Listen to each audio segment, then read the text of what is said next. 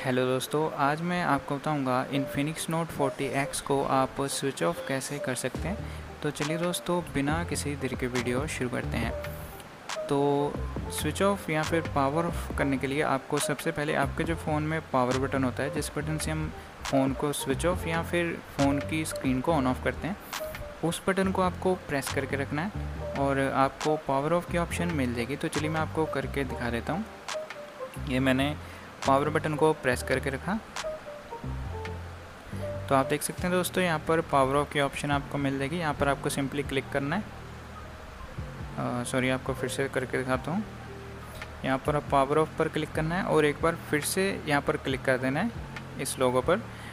तो आपका जो फ़ोन है, स्विच ऑफ़ या फिर पावर ऑफ़ हो जाएगा।